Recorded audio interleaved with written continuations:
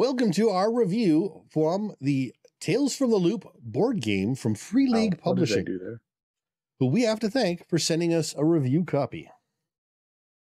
All right, Tales from the Loop, the board game, was designed by Rickard Antroia and Martin Takaichi and features artwork from Reine Rosenberg and, of course, Simon Stålenhag, who is responsible for creating the entire Tales from the Loop thing through his fantastic art books. Now, this cooperative board game plays one to five players, with games taking anywhere from an hour and a half to three to four hours, depending on the player count and which scenario you choose to play. Now, this very full and heavy box has an MSRP of $56.99 US. One note, we are reviewing the retail version of this game, not the Kickstarter version that came with additional miniatures and scenarios. All right, so in Tales from the Loop, you are playing kids in an 80s that never was, in an area of Sweden where they built the Loop, a large Hadron collider, and weird stuff is happening. You're going to pick a scenario to play and then solve the mystery of that scenario using mechanics that will be familiar from anyone who's a fan of the Tales from the role playing game, also from Free League Publishing. Now, for a uh, look, check out our unboxing video on YouTube. Yeah, you get to check out the components of the game, which I've got to say are pretty much top notch. I, I have zero complaints about the components in this game whatsoever. You got some really cool looking miniatures. You got standees for the the characters, which works. You've got a really um, vibrant, clear looking board. Though I will admit the the grid on it is a little too light. So so one little minor flaw with the board, the grid's a little too light. You have a ridiculous number of cards, a bunch of tokens. You've got a set of Tales from the Loop dice. These are custom D6 dice, where the six has the symbol of Riksenergi, the company that owns the loop on them. These are the exact same dice that are used for the role playing game. So, bonus if you play the role playing game, you get a bonus set of dice in this. Or if you already own the role playing game, you have extra dice you can use with the board game. Um, you got dual layer boards. That's another highlight there. You got some really nice mechanics for slotting in stuff onto these boards based on the player count. You got cards for the robot, just lots of nice stuff. Everything excellent quality. It all punched great. And it even comes with a box insert. Though I will say there's nothing that tells you what goes where. So I have no idea if my board game is organized properly, but it all fits back in the box and it's kept safe. So I'm happy with it. And we mentioned in the synopsis that this is a heavy game. There's a reason because you really do get a ton of quality material that makes this a, a solid hunk of a Yes. board game box. Ah, and and yeah, no, I, uh, the the double the double layer uh, boards are really uh, a phenomenal aspect of this game. I, it Hmm. would not be the same if you had to worry about knocking cubes, for instance, especially Yes. uh there, there's a lot of little places to to track things on your player boards Mhm. and i would hate to try and do that without a double layer board Totally agree. So what exactly are we doing with all these fantastic components All right. So you're gonna you're gonna set everything up. You know, put the board out, pull out all the player boards, all that stuff, get everything kind of out on the table. You're going to pick a scenario to play. There are multiple scenarios included with the game, all of which are replayable. Um, I would go so far as say infinitely replayable, though I will admit knowing what's coming will change the way you play. So there is definitely an experience to be had playing a scenario the first time and a different experience had playing it a second time. What I strongly recommend, and I'm going to say this here instead of later in the review, is play one of the one week scenarios. And I specifically recommend the passenger or the light fantastic as they introduce you better to the game than the other scenarios. No, the rule book will tell you to play bot amok. I strongly don't recommend playing that one. That's actually the most complicated scenario in the entire game. I'm not sure why they recommend it. So you're going to pick a scenario, you're going to take all the cards for that scenario, you're going to use the reference card to kind of get things set up, which involves shuffling some decks and stuff like that. I'm not going to get into the full details here. Then everyone's going to pick a kid to play. So again, you are playing kids, and these are kids from the 80s who, of course, had a lot more freedom than most of the kids nowadays have. Uh, these are the type of kids you expect uh, that you see in movies like E.T. or in the TV show Stranger Things. And though I haven't seen it, I have to assume the Amazon Tales from the Loop series. Um, you've got a bunch of kids with a little less restrictions that you're playing. You're each going to pick one. Each kid is is identical except for three things. You're going to have a specific stat out of six that you're good at, a specific stat out of six you're terrible at, and you're going to have a unique item. This is an item you can use infinite number of times, you'll never lose. Other than that, the kids are pretty much the same except for like description of what they look like. Once you've all picked your kids, you're then going to get it set up for based on the number of play. So your skill levels change based on how many players you're playing. Then you're going to start on the school. Now you're going to start the game. You're going to start off getting a chore. So there's a deck of chores. You're going to shuffle this. Everyone's going to get two, and they're going to pick one to use. Now, this is an awesome part of the game where there is stuff you have to get done by Friday in the first week. And if you have a second week of play, you're actually going to draw a new chore and have to be done by Thursday. But you have to complete this or else you get penalized. And they include all kinds of things like uh, you have to go to hockey practice, you got to mow the lawn, you got to clean your room, you have to return your movies to the video store before they're they're late, and so on. Now you're going to take these chores and then you're going to start your day at school. Now you start a day at school by drawing a school card something's going to happen and someone's going to have to roll some dice. This might be the player whose turn it is, so they're they're it's going to uh, only be them, or it could be the entire group has to roll, or one player can roll and the other players are going to help. Now I'm going to explain the roll system really simple. You're going to look at the skill, you're going to look at your number of the skill, you're going to roll that many of the d6 dice, and if you get any six, you succeed. If you fail, you have the option to push, and you do that by taking one of three t- complication types. Again, a little more detail than you need for this type of review. You take a complication and you can reroll. Again, you're just looking for one six. If you succeed, you get whatever it says good happens, and if you fail, you get whatever penalty. If any other players help, they also are subject to the penalty, and some cards have a different penalty for the helpers than the person making the roll. Uh, there are actually some cards too that don't take place right then. They could affect the day. Yes. Yeah, that is definitely. And some don't actually require a roll. Some just say this is happening. Like the buses aren't running today, which can be really annoying. then you start playing. And the interesting thing is at this point, you don't even know what you need to do. None of the scenarios tell you from right at the start what the mystery is or what you need to do to win or what happens to make you lose.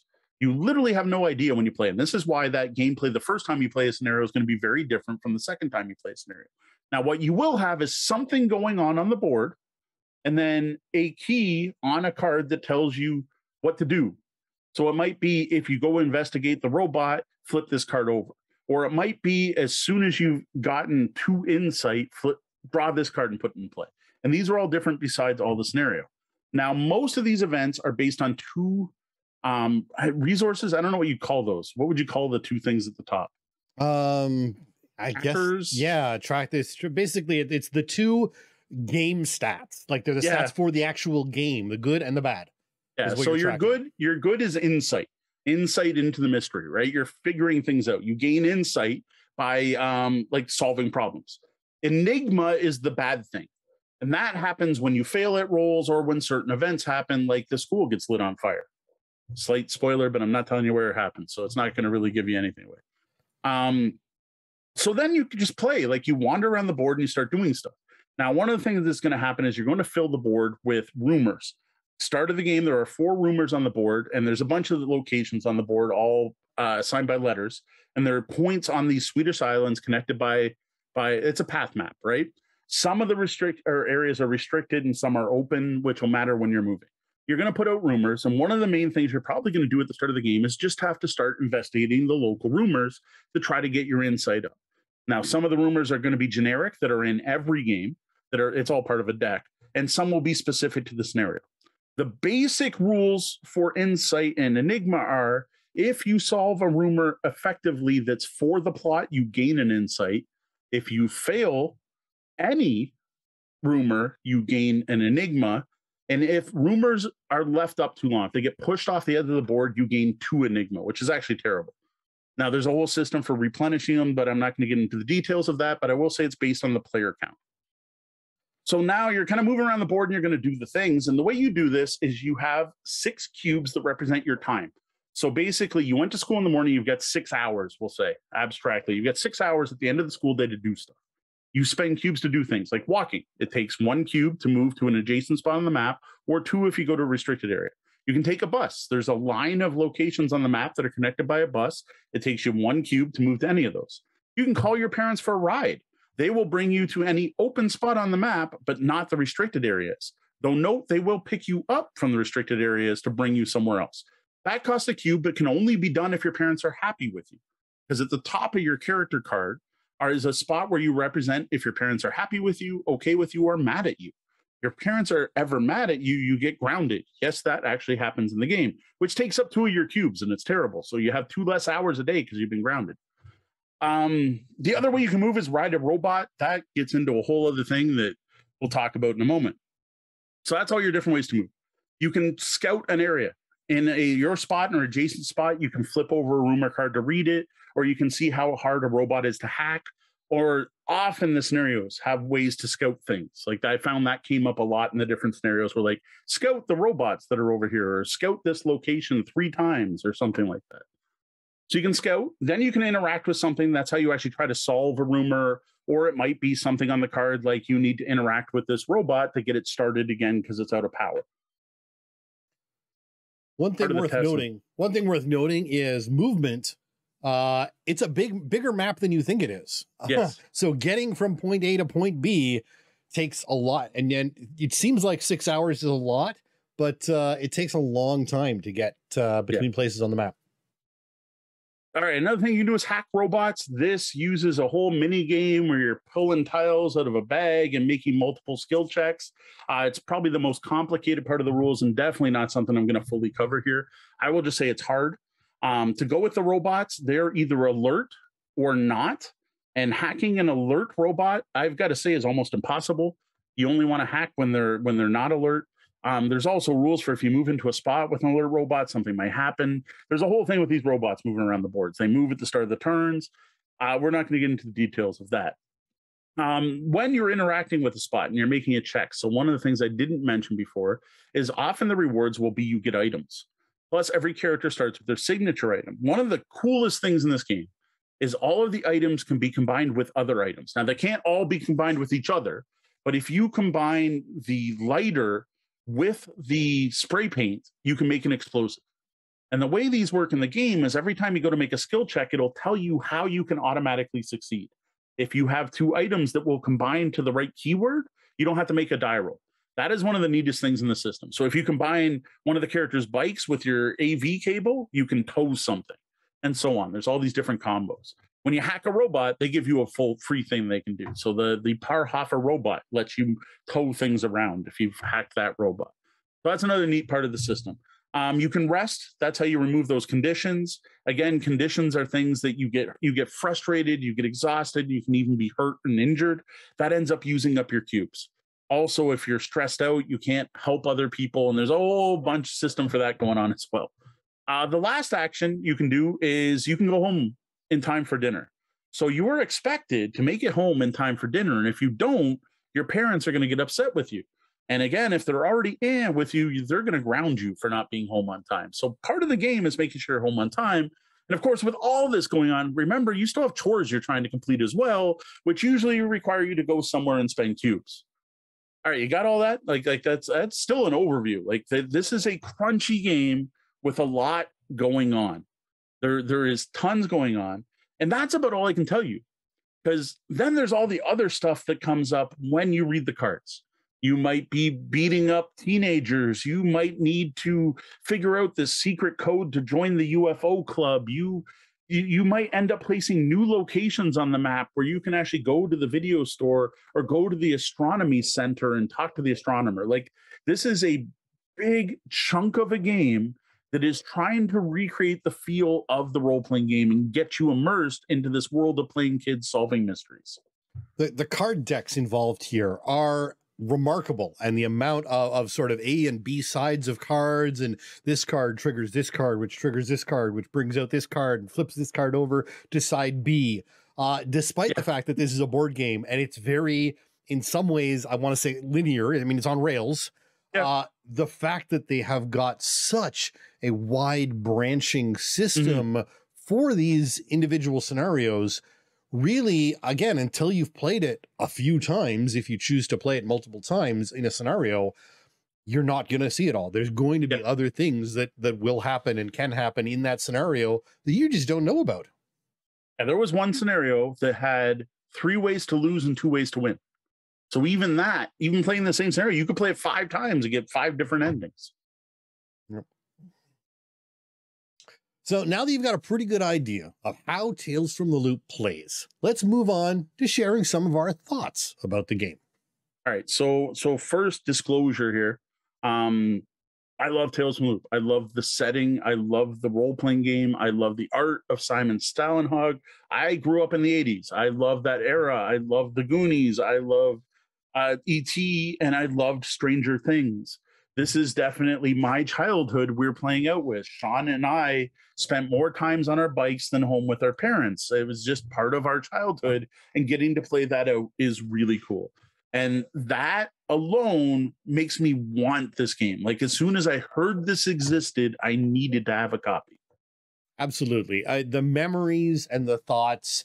Uh, the only sort of interesting weirdness of it is that, unlike the RPG, which has an, a, a North American and a European setting, this one only has the European setting, the original, uh, the the original Northern European setting for the game. So pronunciation of some things becomes a little weird. Uh, but once you're over that, again, there's still a lot of this feel of hopping on your bikes and outrunning the bullies or you know whatever you know returning the video the vhs tape to the video stores Mhm. um I, maybe not the robots but other than that there's a whole lot of familiarity Yes. No, i i have to agree 100%. Though I got to admit, I, I would have liked a two sided board. Like, like the role playing game did such a good job in the starter set, which you can read our review of, did such a good job of just having a slash, like two names for everything, that I, I can't imagine the production cost being that much more to have given me Denver on the other side. Though I have to say, there was no point when playing, except for trying to pronounce some of the locations on the map, that I felt like I was Sweden or I felt foreign or out of place or wrong.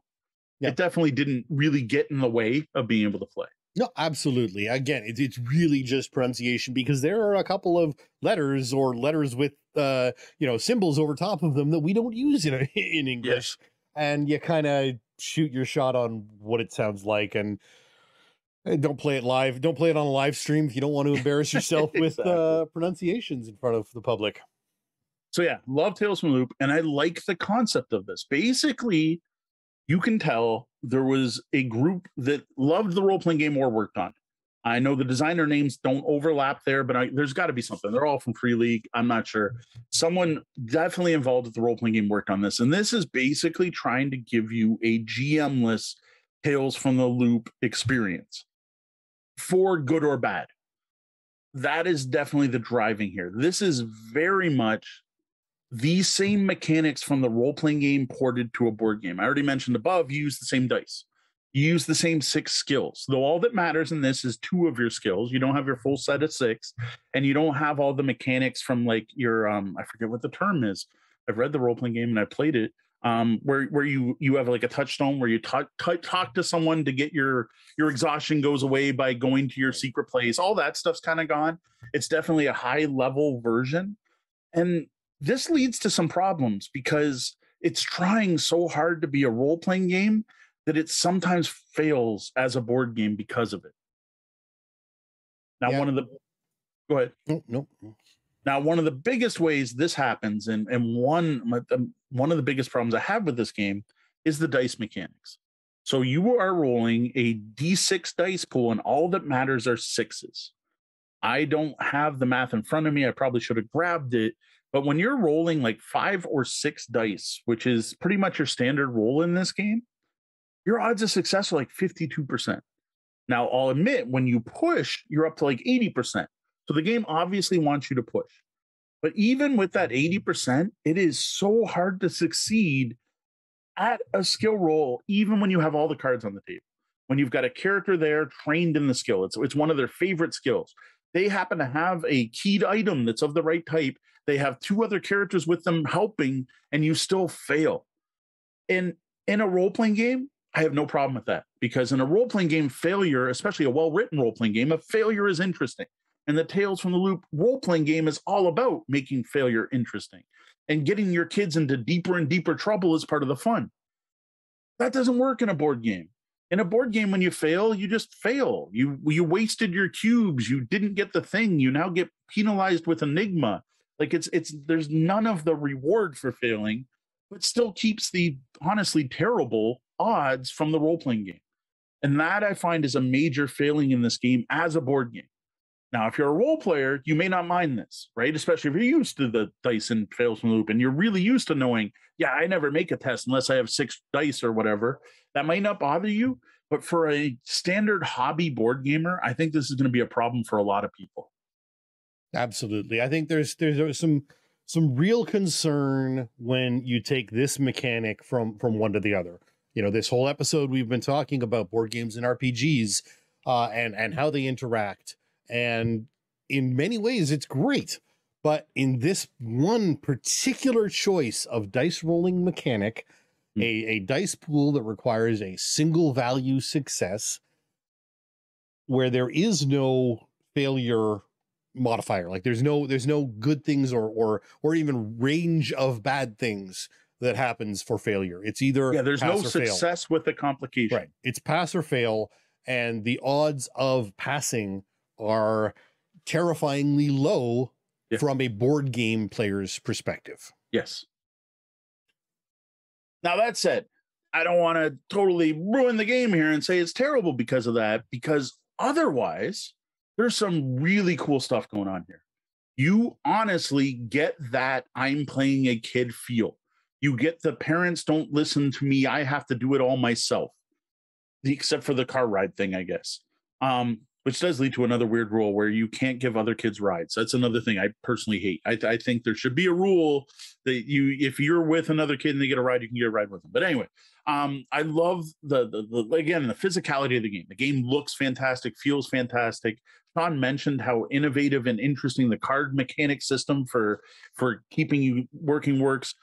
The world is interesting. They even give you a source book on the world, which I you don't get in most board games unless they're historical where they present whatever battle's happening. You don't tend to get a background book, so that's really cool. Um, but the RPG like moments of this game are amazing and and make up for me all the problems when I'm sitting there and we're debating what to do in our turn, it's like halfway through a day and everyone's used up a few cubes, and you're like, all right, look, if we just move over here and I scout the machine, then we get to see Eh, what its what its hacking ability is. Then the rest of you move up, we'll attempt the hack, but first we got to get past the watchdogs. Now, to get past the watchdogs, you're the fastest, so you should ride up there on your bike first because you'll get to make the roll, and then you can help us get past the watchdogs. And then the character with the bike's like, dude, I can't. I have to go to hockey practice. If I lead you guys up there past the watchdogs, there's no way I can make it to hockey practice. And you have an actual in-game argument going, look, it's Thursday. You have tomorrow. You can go to hockey practice tomorrow. And you convince the other player to go to do it, and then they go. Well, you get to the fence and he leads the guard dogs away, but then one of the other characters has to make a strength test to make it over, and another player decides to help. And they boost him over the fence, but they fail and they get hurt. The other player that helped ends up being scared because they saw another kid get hurt. And that all happens mechanically in a board game. And then there's a later role where you're going to ro- do the robot, and the player's like, Hey, can you help me with this? Or like, Hell no, I'm not touching anything like that. Remember when you hopped over the fence and you got all cut up? I'm not helping you. Like these were actual conversations and things that happened in a board game, not a role playing game.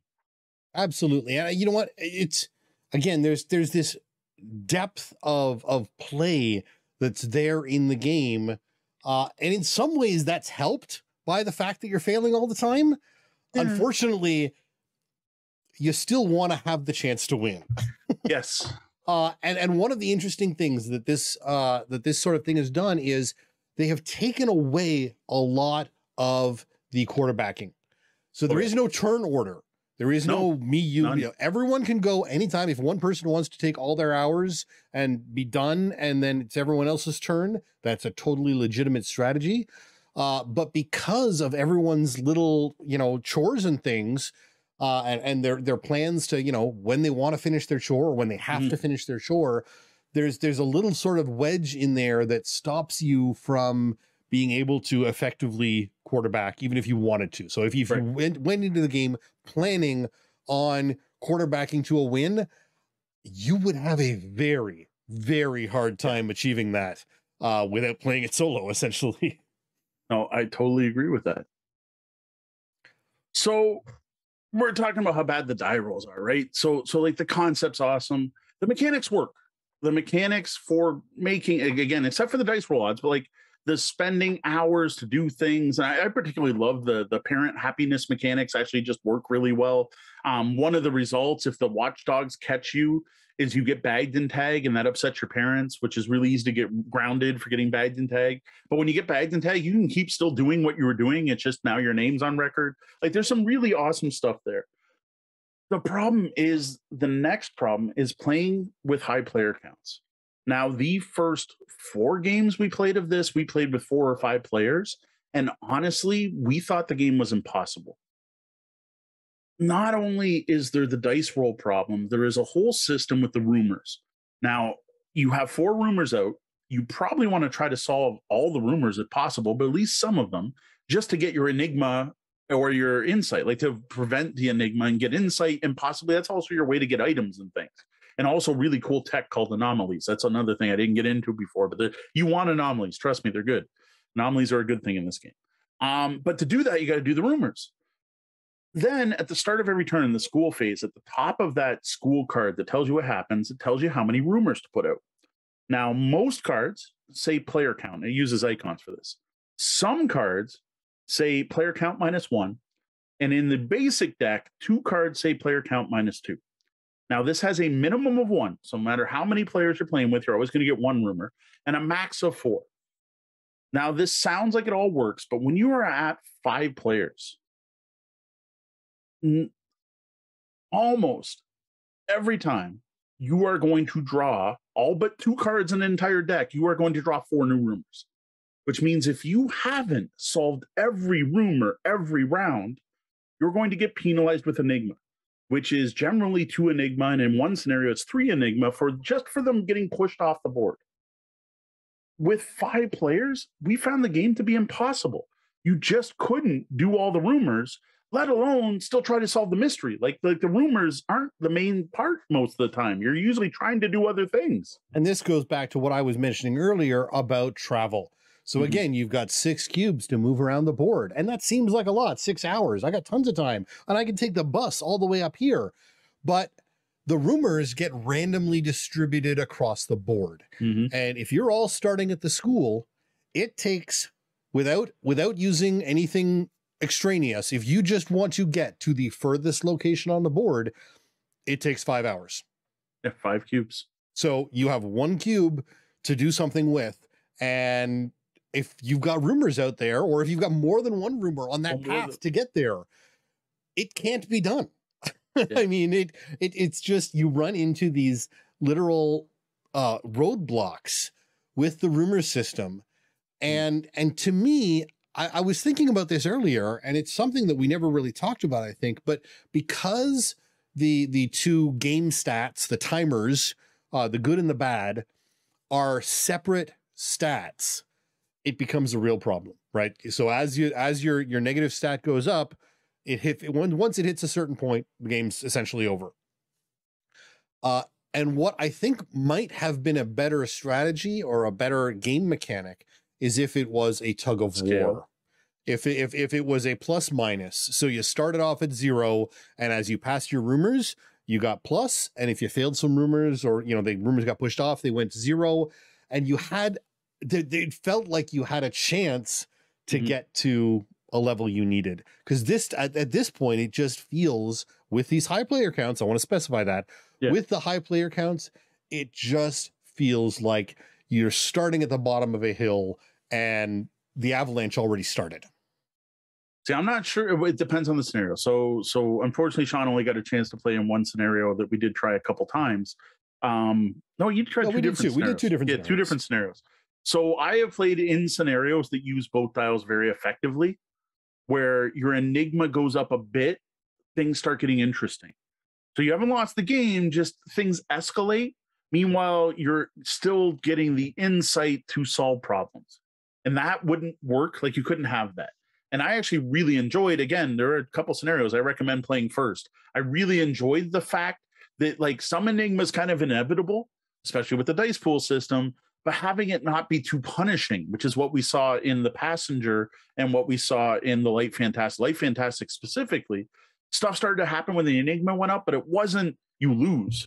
Whereas the one scenario you played, like the, the one with the film crew, definitely would be better as a sliding sail, I think. Right. That one in particular, bot amok, I don't even know. Like like bot amok.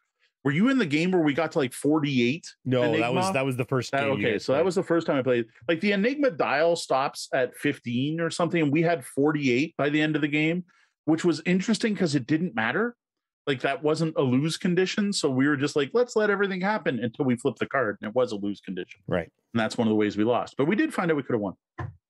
So what I will say is we played multiple times and could not win at four or five players. And I haven't done it. I should have done it before the review, but I I am certain that at five players in certain scenarios, if you passed every die roll and did everything right, you still couldn't win. Be, well, you could, but only if you drew the minus twos and minus ones on all the time on the rumors, or all your rumors are on the main island. Like like it, it it's honestly broken. Yeah, Like without- I hate without- calling a board game broken, but Without playing it through, we we we did some sort of mind gaming of it and tried to imagine, okay, what had what would have happened last night what if, if, we, we, had, had passed every every single roll and it still didn't feel like we had had a chance. Yeah. And, and and we know, and we say this regularly on this show. If you're playing a co-op game, you shouldn't win the majority of the time. It No. should be hard. Should always it be should be a struggle. You, but it should be close. The impossibility is what breaks the game, and that's one Yeah. of the things that my kids have really had a hard time with about some of the uh, some of the some of the uh, the co-op games that we've played with Hogwarts, where they have just felt from like you know right up start you know the way the Mhm. the way it all dealt out the way the starting condition became it it was downhill from from then and and that's really what these high player count versions of this game in the scenarios that I've played were feeling like I honestly have a player who refuses to ever play the game again. Like not even give it a try, even after I've tried to redeem the game, which does happen as long as you play with three or less players. This game works perfectly, smoothly at less than four players. Now I know as Board Game Geek still somehow says four, three to four players as being the sweet spot, and I still wonder if that four is there from the prototype version of the game. So let's get into that for a second before I get into three player play. One of the issues I have with this game is it does not have the best written rule book. It is a rule book written by role players who are definitely not board gamers, and they like to hide rules all over the place. Now there is multiple page threads on Board Game Geek with rule questions, and interestingly, every single one the designer was able to point to the rule in the rule book. Now the problem is the designer had to point to those rules in the rule book, and there are multiple pages where they've had to do this. So I honestly don't can't say it's a good rule book, but I will say everything's in there somewhere. It's just not necessarily where you'd expect it to be, or it may not be clear how it's written. But I do strongly recommend you go on Board Game Geek and read those threads. The other problem, though, is this game was originally released. Um, I, I don't know what order these came in. So there was a print and play version released as part of the Kickstarter. There was also a Tabletopia or Tabletop Simulator, I forget which version of the game released. Those two have different rules even more so the retail finally final version of the game is very different from both of those.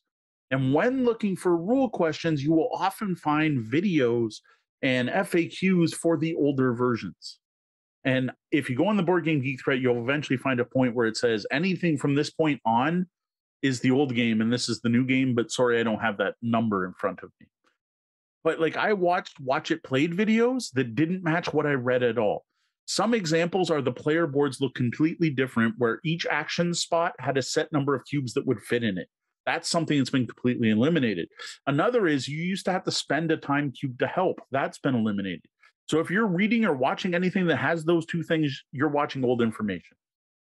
and and we should say that not only is this you know a, a, a an interesting game no one has said this is an easy game this is rated this has got a weight of 3.3 Yep. this is listed as a heavy uh medium heavy heavy game uh this is not something this is not family weight even even at the lower player count where it's it's uh you know it, it is a, an achievable game it's not a family weight game this No. is a thinker Th- This and it's fiddly. There are lots of tokens, and like Sean said, you've got cards, and you draw new cards, and you flip some of the cards, and some cards get discarded. Then you put new cards into play. Like that's all part of it. There's the cubes you're moving around. There's the the number of different actions you have, especially once some of those cards start adding new actions. You're tracking two different stats. There's all the items you can combine. There's just a lot going on. Now, getting back to three player count, three player count, the game honestly works. Like the first time we sat down and won a game was on April 1st. And I purposely didn't I want to say, hey, we won. But like we were so happy because we hacked a robot, rode that robot, and won an encounter all in one game. And that felt so awesome. And I we have never hacked a robot at four or five players. It just never happened there was always something that stopped us or it was just too many checks to make to be able to do it being able to actually do that was so much fun. The hacking system when you hack a non-alert robot with only three players is actually enjoyable and seems very doable. And yes we had to push twice and we had to use items to do it but sure that's fine. We were able to succeed. And that ability to ride a robot actually was neat and cool and fun where a robot took us over the water to be able to get to this area we needed to get to and that was neat to see. So I'm sorry to say, this is a three player game max, in my opinion, without house rules. And now maybe that house rule is you always do whatever the card is for rumors minus one. So that there's a way better chance. Because that was the thing with three players, we would solve four rumors, and sometimes only one new rumor would come out you got three blank spots. You can basically let everything go because even if you get player count, which gives you an entire day where you don't have to worry about trying to solve the rumors, you can focus on the story. That's the turn where we all gathered together and hacked a robot because we didn't have to worry about the rumors. It honestly, with three players, it's your choice if one of the rumors gets bumped because you're always going to be able to do it. You're going to be able to do enough rumors that you don't lose points for ignoring them, which that just feels better. It's it's more enjoyable. It fits the theme better. Like like just ignoring things and losing because you couldn't possibly do them is disappointing. Whereas when it's your choice, you're like, look, we're going to gain some enigma, but right now we're almost there. We've almost got access to the UFO club. We're going to get the secret password. We're good to go. You know what? This turn, let's just focus on that and ignore that. And no, we're going to get the enigma then it becomes a player choice and not a punishment. There's also some interesting stuff, and this doesn't really come up much. And I think it's something that you've overlooked um, just as kind of part of what's going to happen. But the items in the game can at times sort of take you out of things. Uh, there are things like um, one of the items is makeup, which yep. gives you a boost in charm and can help you hack a robot. you well, know, no, nothing can help you hack a robot. That is not something included in the retail version of the game. Items have, help you hack a robot. Yeah. Oh, not at all. None of the robots have any keywords for hacking. It's something that must have been removed in the retail version. But why they're they're all colored for. Oh yeah, you can use them that way. Yes, yeah, yeah. Sorry, you can use them that way. Yeah. No, uh, but that makes sense with a watchdog because it's trying to identify you and bag and tag you, and you put on makeup to disguise yourself as someone else. Fair Come on, it's based on a role playing game. Uh, but there there are things like that. There, there, that is something I did want to bring up. There, there supposedly the rule book mentions that there are combos you can use to hack a robot. There are not, and I don't know if that was something in an yeah, earlier no, version. This is combos. The st- just the this skill was just using. St- yeah, I thought you were talking about. No, no, no. Stat you bonus. were using makeup with a thing to hack no, a robot. No, stat, stat bonus for charm. Stat bonuses. Okay, yeah, that's different. Sorry, that was me misunderstanding. Um, yeah, no, there's there's there, there's certainly some thematic things that that that could could leave people cold. Uh, one of the things is this game feels like the robots should be a massive part all the time. Yes, and they aren't. and by putting giant miniatures out of them, yeah, it just kind of makes you think they should matter. Yes, and, and and and it is very scenario dependent. It's very scenario dependent. They're always there, but a lot of the times they're completely ignorable. Yeah. Um, whereas there are certain scenarios where if you don't go in and hack them, there's just no possible way. Yes. Uh, and that's that feels odd. Uh, because they really do feel like a major component. They've got these mm-hmm. big cards at the top and these giant miniatures, and they they take up sp- a lot of space on the board. Yep. And and it really feels like you need to focus on them, but it, because the game has put so much effort into them, but you don't. Yeah, not necessarily. On a, a the robots have come up in most of the ones I played. Like obviously, Bot Amok is called Bot Amok. Um, so so one so a couple things about this uh, before we get to some very final thoughts is this feels like a board game of a role playing game. This does not feel like your standard Euro game, your standard, you know, Stefan Feld resource management or anything like that. This is definitely trying to be a role playing game and get elements of that role playing game in there. And I think it succeeds at that. The problem is it brings in the trappings of role playing games like the dice pool system, which I really don't think works in this. And then I don't honestly know what happened with the player count. Like, like I'm wondering if it's something that happened from those iterations from print and play to again, it might be in the other order, digital to print and play whenever they came out, or print and play to digital to final game. I think something broke in there. And I don't know if it was people complaining that things aren't easy, difficult enough or not. But like in the back of the rule book, though, there is a section on how to make the game easier and harder. Take that to heart and make the game easier when you first start playing. Like take every hack you can. Like there's some really simple ones that just make sense. Like characters who are helping can contribute their items to the main roll. Why not? If I'm there with you, why can't I hand you my cable or my hair or take my bike? Like it just fits things like that. Um, there's other ones back there. I can't remember exactly what they are. You probably won't need the ones to make it more difficult. The other thing you might want to house rule is many of the scenarios will require numbers of things, set numbers of uh, insight that are higher for higher player counts. Just don't make that adjustment. Just use whatever the lowest is. Because, like, we played a scenario where it's like you need nine to win with three players, but you need 18 to win with five. And the way the game works, having two more players does not double your ability to solve rumors, especially when only the rumor cards with the right symbols on them count.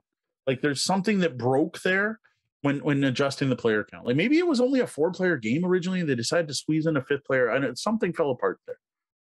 The other thing, and I've mentioned it before, do not play bot amok as your first scenario. You might not ever want to play bot amok. For one, it's one of the only two week scenarios, and this game gets long when you play two weeks very long, like more than three hours long with two weeks. Stick to the one week scenarios. And I strongly recommend you start with the light fantastic. The reason I suggest that is it removes a chunk of the mechanics from the game so you don't have to worry about them. And I don't want to spoil what, but you want to start with that one. If you want to experience everything in the game, like if you want to taste for everything for your first game, then do the passenger. So I recommend the Light Fantastic, and then once you beat Light Fantastic, play the Passenger. From there, do whatever you want. Uh, the Plant one was particularly fun, I will say.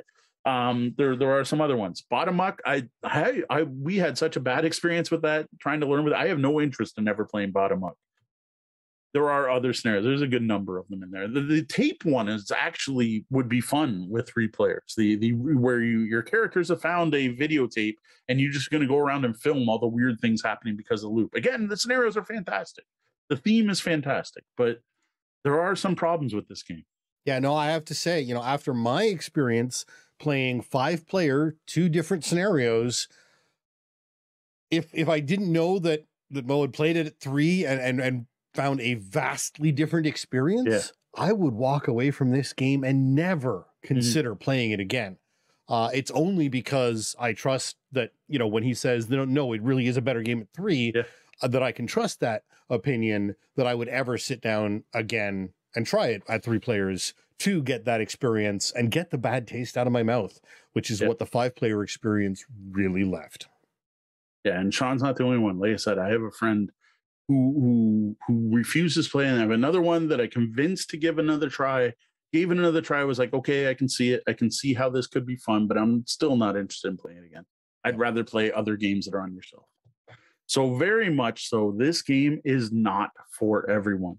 This is not in any way a game your random Euro I like hobby board games fan should just go out and pick up. This is a game for fans of Tales from the Loop who also happen to like fiddly, heavy, not unforgiving board games. But like if you're a Catan player, or you love Uwe Rosenberg, or you like Food Chain Magnate, I'm just trying to pick a big range of hobby games. you're like, oh, Tales from the Loop. I know nothing about that. That looks interesting. This is probably not the game for you. This is to me a game for fans. Fair enough. Now, role playing game players, I will say, may be more forgiving because you've got your character sheets, you've got a, a resolution mechanic system that will seem familiar to many role players. You've even even the whole system of taking injuries and something bad something bad happened to push your dice is going to be familiar. So role playing game players who are interested in board games that feel kind of like role playing games may want to check this out, uh, especially if you're a Tales from Loop role playing game fan, right? Tales from Loop role playing game fans probably already bought this at this point. Um, you might you might enjoy it, right? If you're a D&D player or whatever, you, you may get more out of this than your average board game player would because of those RPG elements. Overall, should you buy this or not? It's going to be up to you. Um, if you're a Tales from Loop fan and completionist, why not? You're going to get some cool minis, you get some cool cards, you have a game that you may have some fun with. Other than that, this is probably a pass. Definitely a try before you buy. I almost think for every gamer, if there's a way for you to try it before you buy, do it. But again, remember that version on digital is not the version you'd be buying. And I have no idea if they have any plans to update that to match this retailer. All right, well, that's it for our review of Tales from the Loop, the board game. If you've tried this one out with your group, we would love to know if you had similar mm-hmm. experiences, mm-hmm. which you can tell us about in the comments down below. I also invite you to check out the written review over at tabletopbellhop.com where I'm going to get into more detail, especially in regards to how to play the game, the actions, and maybe hacking. I can definitely put a lot more on the blog than I want to talk about in a podcast segment. So check that out for even more info on Tales from the Loop, the board game.